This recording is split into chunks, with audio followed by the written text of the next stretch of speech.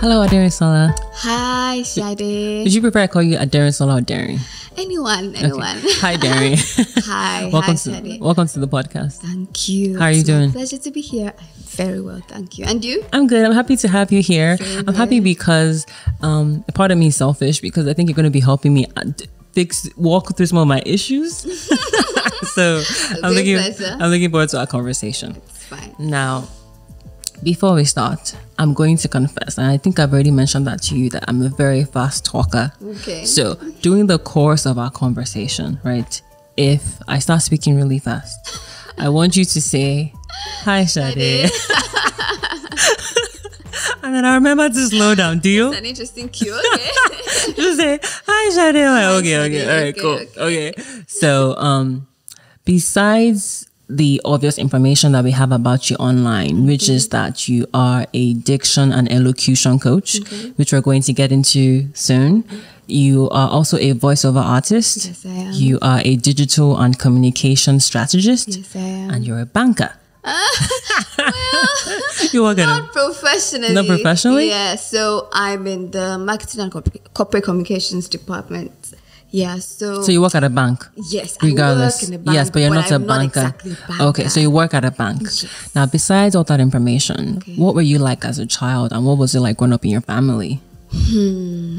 So I'd say I wasn't one of those um, children who, when you ask them, "Oh, what do you want to be in future?" and they're like, "Today, I want to be a doctor," and then you ask them the next day, and they're, "I want to be a lawyer." Now, I've always. Always, always wanted to be a broadcaster. Now, this table actually reminds me of what I used to do as a child. So, mm. my my my dad used to buy newspapers every day, like every day until he passed. Mm-hmm. So you'd see that immediately I saw this book and I saw Bimbo Oloyede. I went, I know her. Yeah. Channels. I'm like, Yeah. like, I don't know any broadcaster that I do not know. Like, I grew up watching TV, listening to the radio, and then I had newspapers. So what I used to do growing up as a child was when I was the only one at home after school, I would just go to our dining table. At the time, there were no teleprompters. Do you understand? So I would. Um, there's this woman on um, AIT News, Jiwe Kolakoforiji. So I watched her so much. Like I used to imitate her. So I would just get my newspapers, and because there were no teleprompters, I would get a plain sheet of paper, um, write out some stories from newspaper into the plain paper, put look for a container on the uh, put it on the table and um, get a um, screwdriver. That is my microphone, Wow. and then I'd be. I'd be reading the news Yeah. to myself. Like, No, that's it. I'll be, oh, hi everyone, welcome to AIT News. Uh, my name is Jiwe Kolakuforiji. Have you met her? Yes, I interned. I interned. yes, I interned with AIT at some point after NYSC, and I was like, yeah, That's I really imitated. Yeah, no, up. that's you know. I think that a lot of times when you hear people who have dreams and goals, I mm-hmm. keep on saying that that it starts from a young age, and even though you may maybe put it on the back burner for a while, those foundations, those experiences, mm. really. I don't know. Yeah, they really do. And then you look Yes. you're like, oh wow, I remember like look at you saying that you used to imitate her, right? and then you actually yes. got to work with her. So that's that's Yes, super yes. that's super awesome. What about your family? You come from a family of how many kids? What three girls. Oh. I'm the first of three girls. Oh, yes, that's my dad is late, and my mom. My mom is a nurse. Okay. Yes, That's yes, great. yes. So what were your parents like? My parents, okay, so my dad was the introvert, and so it was just a perfect blend. My mom, the extroverted um, person, the strict, no nonsense person. My dad was the liberal person, so that, Yeah. yeah, there was this balance. What about your siblings? My siblings, uh, they're good, they're okay. Okay. Yeah, yeah. Okay. Now, what led to your interest in diction and elocution? Because, like you said, you wanted to become a broadcaster, which hopefully, knock on wood, we'll see how that's going to happen, Yeah. you know? And then when you become successful, you say, Oh, I remember when I came on Shade's podcast. Don't worry. exactly. so, what led to your interest in diction and elocution? Okay, so remember I mentioned, so it's going to be like a continuation of um, my growing up. I'd say, okay, so let me just chip in here that parents, parents have, they might not know, most parents might not know, but they have about the strongest influence on their children. I just said that I grew up around newspapers. Like, till the day, till the day my dad had an accident and passed, my dad Mm. actually went to get a newspaper. Wow. That's. Do you understand? Yeah. So I I I grew up around newspapers and I would consume them. I would I would I was like I would should I say I recognized all of the writers, all of the Toyosi Ogunseyes and and co, such that even I remember there was this time. I hope I'm not digressing. No, it's fine. No, I want to know this. That's why I'm asking you. I remember there was this time. So coincidentally, I don't want to say. I don't even. I don't know whether to say it was a coincidence.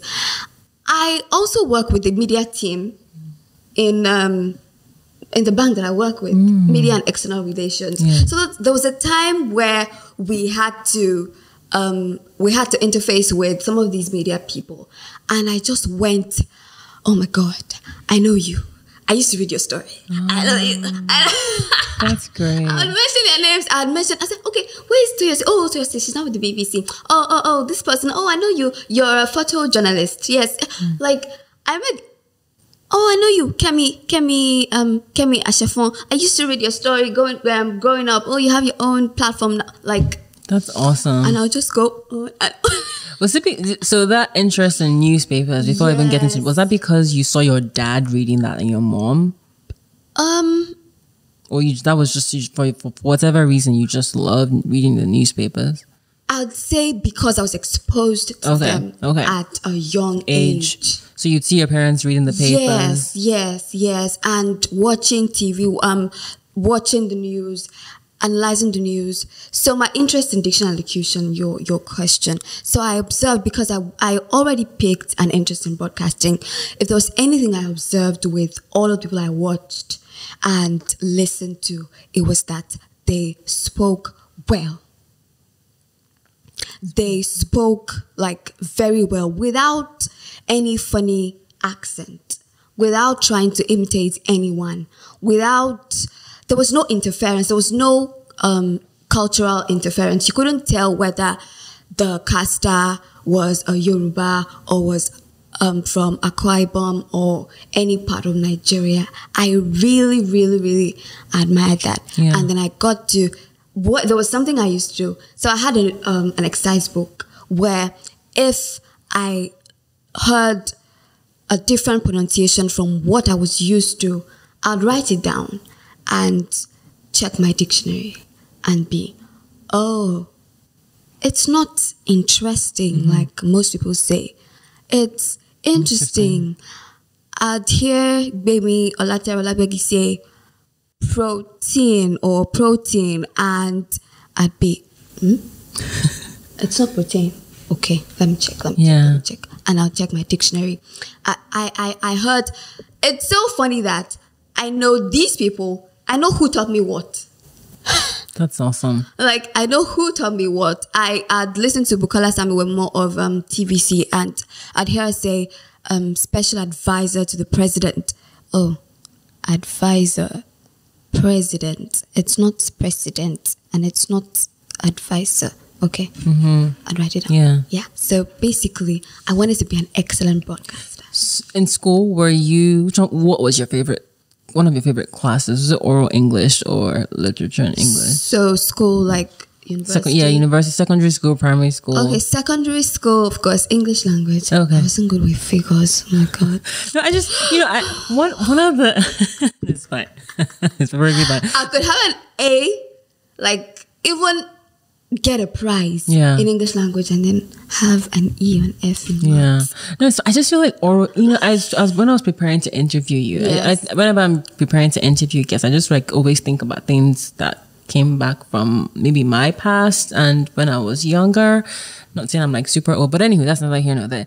And I thought about oral English and how sometimes we blow that off when we're in secondary school. Like, uh, this person is pronouncing even like the word pronunciation. Hmm. It's not pronunciation. Hmm. And for the None. one, yeah, hmm. it's, you know, so I just think that oral English has a role to play in how. it does. It, well, it actually of- does. And it's just so funny because when we were in secondary school, I, when we were in secondary school, we just, it, it was like a part of English lang- language where we just wanted to skip. Like we all just Yes. did ABC, number one, A, number Mm-hmm. two, B. Like we went really, we didn't really master those sounds. Mm-hmm. Even me. But the thing with me was, I knew I, there was a goal broadcasting okay so what could take me there so that was the Yeah. like interest for me and so when i got into ife as well um phonetic and phonology was where i used to get my a's and Yeah. all of that That's so great. it was like a natural area of ease Mm-hmm. for me Now, before we get into the core of our conversation, for people who are listening and who are watching, I think that's important to stress that the reason why I have you here is that for people in the media industry and entertainment, a lot of us are going to be speaking publicly and presenting your ideas, pitching your, oh, what's this, what is this project about? What is this story about? Exactly. And I'm sure you would agree that effective speaking and communication has a role to play in how successful you're now more than ever Exactly, right? Especially with the whole Afro beats to the world. Um, people are getting more exposure Mm-hmm. Yes, yes. internationally. So Yes. I'm really glad to have you here and I'm I ready to dive into here our well. conversation. yes So you are a diction and elocution coach. yes i am What does that mean for someone who's listening or watching? Okay, so my role, simply put, as a diction and elocution coach, is to help you speak right. Speak right. Not speak with an accent. Speak right. Like there's a standard. My role is to help you speak very well. Speak right. Yes. Okay. Simply put. And we're gonna we're even, you're you're kind of moving ahead to one of my questions, but the whole accent thing. There's this we have this thing whereby people think that having an accent means speaking right. Hmm. What does it even you know before you go? What does it even mean to speak right in your own books as a diction and elocution coach? Okay, so the standard for speaking right is the British English. Who made this the rule? Because we're colonized by the British. In Nigeria, No, I know. we were colonized by the British, so we mm-hmm. speak British English here. So let me let me let me also state that English language for us in Nigeria is our national language because some people might just say because I hear this a lot. Who English app? like who can it put? f- Yes, of course, it can put food on your table. Mm-hmm. It can determine whether you get that job or you do not. True story. I've been. I have a friend who is also an elocution coach and communications trainer. I hope I can quickly. Yeah, no, no, in. yes, yes, yes. Okay, who's also a communications trainer and and um, elocution coach. So what she does, she works with a tech company. Like true story, I was there. She works with this tech company, and you know how it- you know how it is when you are going to be recruited and the speaking test the last stage and her colleague was this person can get in this person cannot get in. He cannot read. I mean, this says strictly speaking. He's reading speaking strictly. What is the like? It was it, it was. They kept having this back and forth, back and forth with the HR guy because apparently he knew his onions. He was good at the. He passed everything techie in the interview stage, but mm-hmm. when he got to the final stage, the speaking test. Could it be that the person had dyslexia or has dyslexia? It could be, it could be, but for the reason why, for, purpose conversation, the reason why her colleague was this person cannot get in was because at the end of the day, these people were supposed to vet those coming in, and these tech company communicates with they have foreign clients that they communicate with so those people get feedback Yeah. from time to time that we cannot hear what it is You're- your guys are saying. are saying and also that's why my colleague and or rather my friend and her colleague take the pain to train these people. However, when they're coming in, they want to shut, um, they want to, they want to minimize like the stress Yeah. and everything they have to go through when eventually they start to train. Yeah. Do you understand? Because I hear a lot of people say, "Oh, it's not important. English language is not my mother tongue." Oh wow, that's another one that Yeah. that we, that I hear very frequently. So people need to move from that mindset because everything starts in the mind. If you do not think that it is important, I I I I when when you know I was privy to that conversation, I could only imagine what would be going through in the mind of that guy if he got to hear that you know. You won't be getting this job just because it's not because I don't have the technical capabilities or capabilities. It's just because you, I mean, you cannot Speak speak, well. well. It kind of goes back to one of the points that you made about children.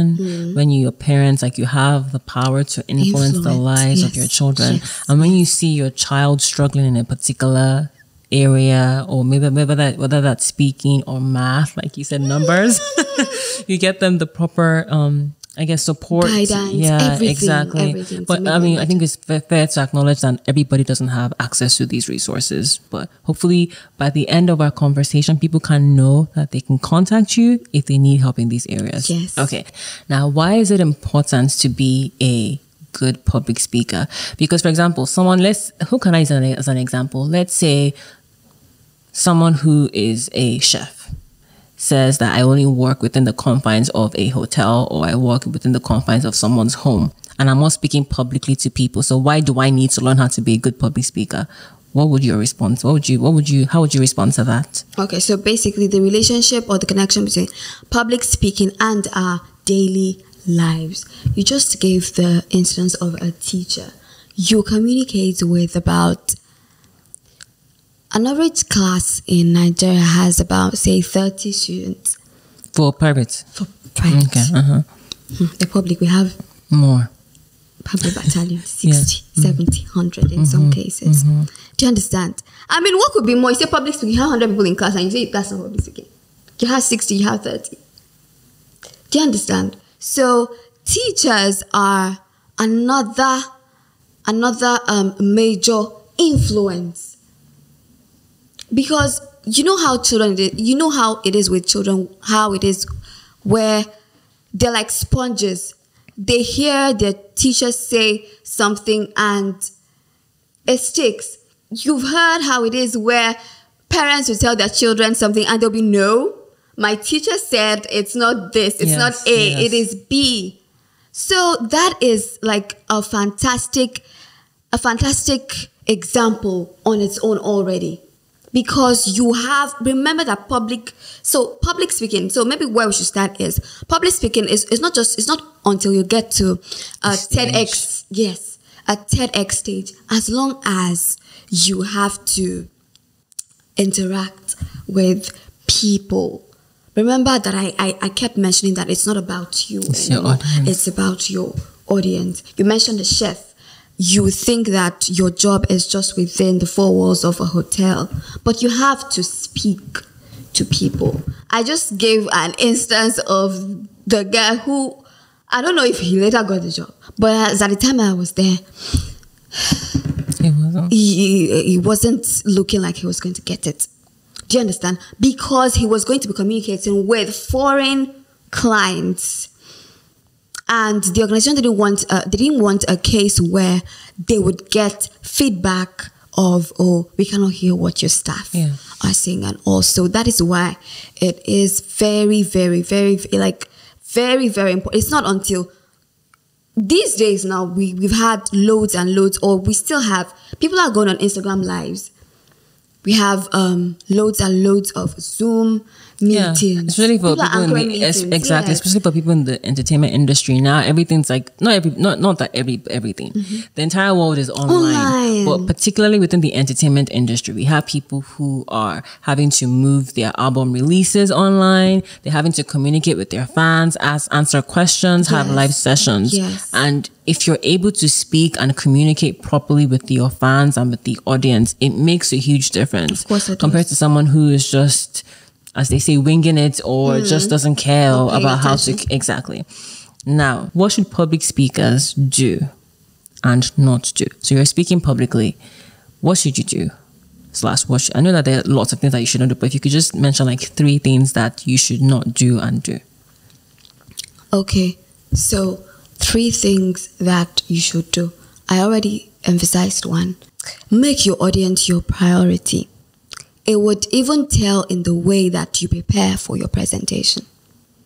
It would reflect because you would go all the way. You would have asked yourself possible questions. Oh, what could be this? What could be this? What could, so that when they throw those questions at you, you already have answers to them. Mm-hmm. So, secondly, I'd also say prepare.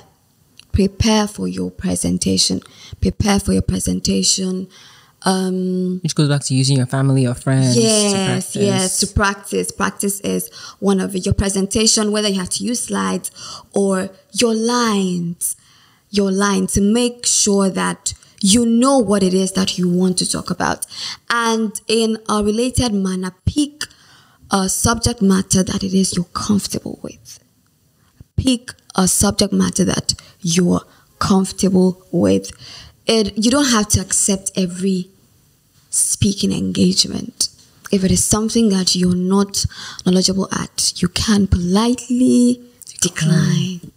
And for artists, know your projects in and out. Know your team. Know the people that are behind the scenes. Exactly. And then know your audience. Yes. Know your audience. Yes. Ask a lot of questions. Oh, what is the demography? What um what is the are they parents? Do they have children? Are they career people? Do they um do they occupy like management? Are they C suite in the organization? Just know them so that it would help in your preparation. You know the sort of examples to give. Are they children? So you don't talk over their heads. So you know the kind of examples to give with cartoons, Sofia the First, and the, and all of that. Yeah. So all of those. Then what not To to do? Do not um, do not go into your presentation without preparing. If it is very important that you that you prepare, and when I say prepare, especially if it's a physical event, you should get to your venue, say 30 minutes before before your presentation.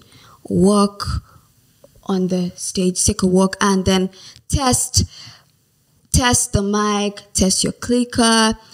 If you have to walk into the stage, if you have to like walk, uh, did I say to the stage? Walk into the audience, yeah.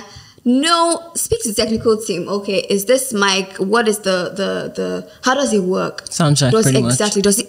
Thank you very much. Does it allow me to walk, or should I just stay on the stage? Mm-hmm. That's number one. Number two, your appearance. You don't want to wear anything distracting. You don't want to remember. an artist, though. I mean, unless you're an artist, unless you're maybe, an, I mean, you know what I'm trying to say? Because an artist, you can wear whatever you want. But even when you're going to pitch, you're going to partnerships, partnerships with people, you have With to. a brand. Yes, yes. Go ahead. Mhm. with if for instance oh so i think i'm more focused on the corporate Yeah. Uh-huh. so that's that's that's oh the reason why I have these examples. So you want to pitch to a brand and all you want to be wearing blings and um, all of that. You would you can I mean do your research about the brand, know their brand colors. You could even if it's if it's blue, you could shop in a blue suit. Yeah. So they know that oh this dude has actually done his research Yeah. and um, all of that. Okay. Yeah. So those, are good. don't do, yes. don't, those are the things that you say don't do. Yes. Okay. Now, to kind of wrap up before we go on to our fun random questions, Okay. this is where you come in. You for people who have all these problems with diction and elocution, whatever issues you have speaking, they can contact you and you have workshops that you do. Yes. Now, are these workshops open to people of a specific age or it cuts across whatever age? For example, if it's a parent, can they bring their eight year old child or are you inclusive of children, young adults, corporate people, entertainers, artists, people in the entertainment industry? anyone basically as long as you are open minded so i have this example I don't have a magic wand. I don't have if when I help people get rid of H factor, for instance, it's not like I have a magic powder that I give to you and I say, okay, when you swallow this, It's gonna go away. all of your H factor will disappear. No, as long as you're willing to learn, mm-hmm. You can become a student. Yeah, it's. So open to it- any anybody. anybody at all. And um, some of your classes can be tailored to pe- to individual problems that people have, right? It doesn't. It's not just so gonna. I have um, classes from time to time, diction elocution classes. I have um, get rid of H factor classes. I also hold personalized classes for um, people who do not want the general classes. So yeah. Okay. And how can they get in touch with you? Um, you can send me an email, dictionwithderin at gmail.com, or just follow me on social media. Diction. with Diction them. with Derin. Okay. Diction with Derin. Send me a DM. Okay. Uh, final question, Derin, before we go on to the fun random questions. Okay. What do you think is the biggest misconception that people have about working with coaches to improve their speaking?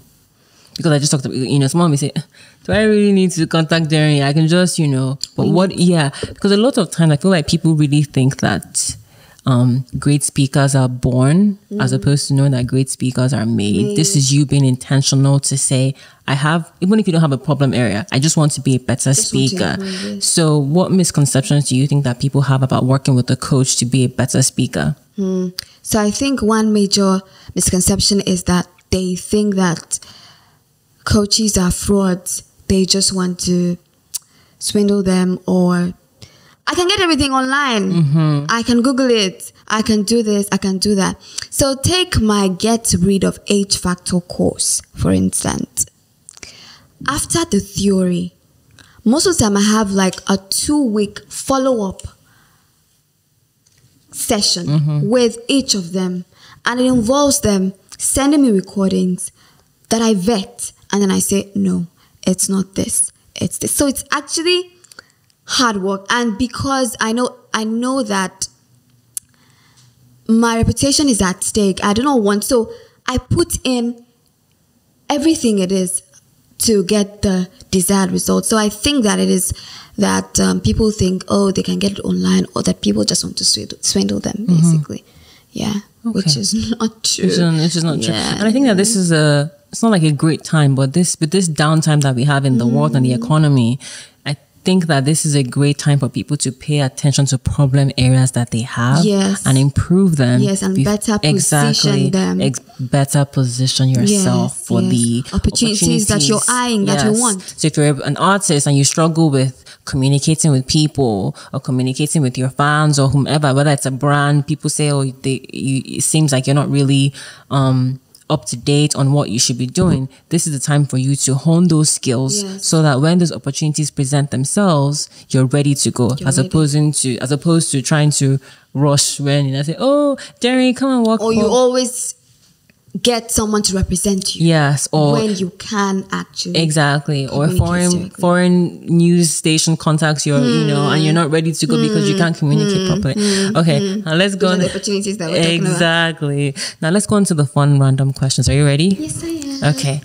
My first question is which of the following makes you cringe the most? Okay. The options are my names are pizza or oil. Hey, God, oh God, oh God. so I think my names are, my names are, and I'm like, you bear all of these names. You cannot identify with all of these names. So my name is Aderinsola Taiwo Adeyemi. Not mm, my names are. My names are. Well, thank you so much for your time, Derry. It's been my pleasure. Thank you to our listeners it didn't well. even feel like we were. It felt like we're just. I told you. See, do you see? So am I? Am, I- am I right? Yes, you are. I told you. I told you. I actually felt like we were just recording. Yes, exactly. And thank you to our listeners as well. If you want to follow Derin, you can follow her on Instagram at Diction with Derin. So that's D I D I C T I O N W I T H D E R I N Diction with Derin. Before I go, what word do you find challenging to spell? You don't have it. None at the moment. Maybe because I haven't come across Yeah. any um, difficult word, but I think I can try. Yeah. Yeah. Okay. Um, so yeah, you can follow her on Instagram at Diction with Derin. And um, if you enjoy this episode, please share it with your friend, or you can share share it on social media and tag us. We'll yes. definitely Like, interact leave a comment. interact with that. Derin, any last words about public speaking, diction, elocution? do everything, do everything you can to put your best foot forward every time you get the opportunity. Diction and elocution is one thing that can position you for those opportunities that you want to get. That's really good advice. Let's all continue to stay safe and Yes, listen to, and yes. make sure that we incorporate. Derin's Yes, advice into our lives. Bye, everyone. Bye.